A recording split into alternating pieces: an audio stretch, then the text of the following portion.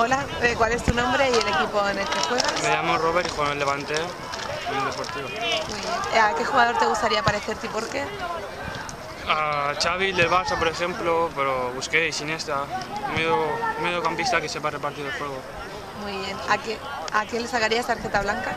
A mi entrenador, porque siempre nos dice que no busquemos líos ni insultemos al árbitro ni nada de eso. Siempre juega limpio.